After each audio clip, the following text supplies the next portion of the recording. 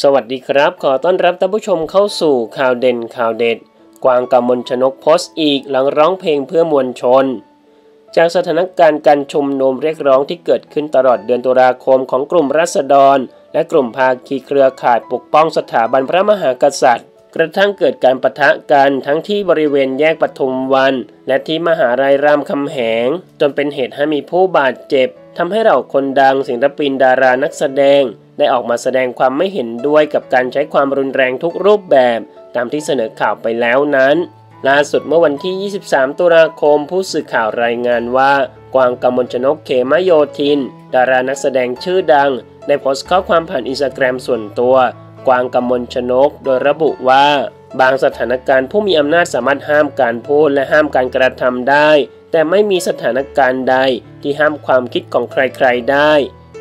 ชีวิตคิดบวกของกวางกำมลชนก อย่างไรก็ตามก่อนหน้านี้กวางกำมลชนก ยังได้โพสต์คลิปเล่นกีตาร์โปร่ง ร้องเพลงเพื่อมวลชนร่วมกับสามีอย่างน็อตนุติเขมโยธิน พร้อมกับระบุข้อความว่า เพลงเพื่อมวลชน พร้อมติดแฮชแท็กรักความยุติธรรมแฮชแท็กรักประชาธิปไตยแฮชแท็กไม่สนับสนุนความรุนแรงแฮชแท็กฉันรักธรรมศาสตร์เพราะธรรมศาสตร์สอนให้ฉันรักประชาชนแฮชแท็กชีวิตคิดบวกของกวาง กมลชนกท่านผู้ชมละครับ มีความคิดเห็นอย่างไรกับเรื่องนี้ ลองแสดงความคิดเห็นกันเข้ามาดูนะครับ